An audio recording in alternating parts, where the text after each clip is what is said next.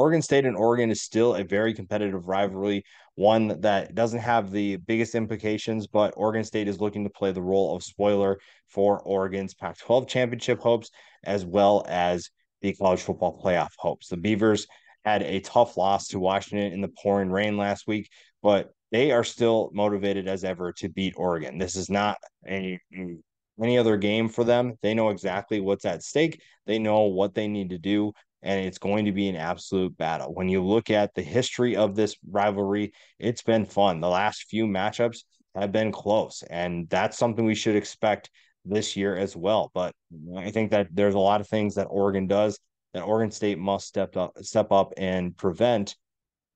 And really, the first thing is keeping DJ Uiagalelei upright and healthy. I think that his impact on this game comes in many forms. His ability to run the football and his ability to throw, giving him time to throw against this Oregon defense that is much better than I think a lot of people expected. I think that they stepped up in a big way, and it's been a big reason why Oregon's had so much success.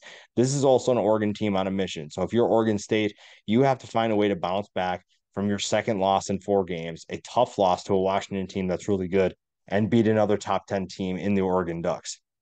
Damien Martinez, absolute stud. I think he's one of the better running backs that we're not talking about. He's a physical runner and he has done a great job of studying this offense. It's been more of a balanced approach, which has been fun to watch. And a win over Oregon would be a great way to end the regular season. Now, when you're facing an Oregon team, there's so many weapons you have to slow down. There's so many guys that when you look at this roster, it's tough to pick out one that you need to slow down more than the other because that's how talented and deep they are. Bo Nix is having a Heisman worthy season, but around him is really the, the, best part about him, about this team. And Bo Nix obviously gets a lot of credit and he's playing really well. It's not to take anything away from him. But when you look at this team, they're stacked. The offensive line is just as good as it was last year. I think that they have been phenomenal. They are physical. They send messages. They get down field in a hurry. They, I mean, look at the last game. They had a number of plays where they are running 50 yards downfield and making plays. That's how dedicated they are. That's how much it means to them. And that's a big reason why they've been successful.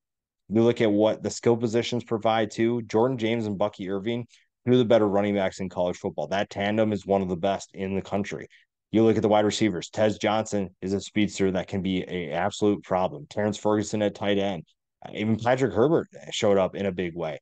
But Troy Franklin is really the one that is the biggest problem. He has been phenomenal for Oregon all year. He has been Bo Nix's favorite target, and he has been a big reason why they've had so much success. But on the defensive side of the ball, there are a number of players that have stepped up in a big way, and transfers are are some of the bigger names that we'll talk about. Evan Williams coming from Fresno State was one of the bigger additions, and he has played great at safety. I, I'm watched him at Fresno State. He did great things there, and he's made the transition to the Power Five level almost seamlessly.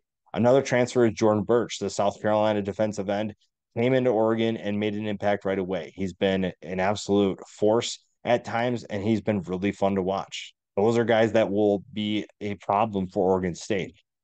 The thing with Oregon State is that they're that underdog that is so tough to beat because they play with such a tough mentality. They are they embody the underdog role, and Jonathan Smith is kind of an underdog himself, and that's what makes them so tough. And you look at even last year, I think a lot of people expect Oregon to win that game last year, and Oregon State comes out with a four point win. That is very much a possibility in this game.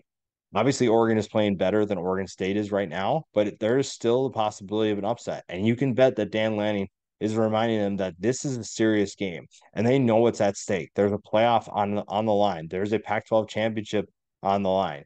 There's a lot for Oregon to lose here. Oregon State has nothing to lose. They are playing purely for pride and to add another win in the win column. They are looking for uh, essentially to add to bragging rights. They already have the win from last year and they are looking to add another one.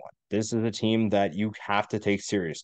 Because you look at even the wide receivers, look at the wide receivers. Silas Bolden, Anthony Gould are not big by any means, but they will torch you if you do not pay attention, if you are not careful. And now Oregon's secondary is very talented, but that does not make them immune to big plays. They can give up big plays and they can get hurt if they're not careful. And that's why they they know they're going to take this game serious. The quarterback play is really fun too because DJ played better than I think he did at Clemson at times, but also I think we've seen a lot of Clemson DJ too. So if he plays better than what we've seen, especially after last week, and part of that was the weather, but if you play see him play better, then I think Oregon State's in good hands. I think that they have a chance to win. Be physical. This offensive line for Oregon State is going to give Oregon's defensive line a lot of trouble. But if DJ can get involved in both facets of the game, I really like what Oregon State can do to keep things close. Bo Nix is having, like I said, a Heisman worthy year. Over 1,200 yards with 14 touchdowns in just his last three games. He is absolutely dominating right now. And like I said, Oregon is on a mission. Now, when it comes to picking this game, I'm picking Oregon. Oregon is just they know what's at stake. They are, are really using that loss to Washington as a motivating factor, and it has worked so far. They have been lights out for the most part. They have made statements against a number of good teams, especially you look at what they did against Arizona State last week, which is not, a, I should say, that's that's not a good team, but that was a statement. They essentially went up by big in the first half, posted to a win. The week before that, statement against USC. Two weeks before that, statement against Utah. All they have done since that loss is remind everyone that they are on a mission to get back, and they are definitely a national championship contender.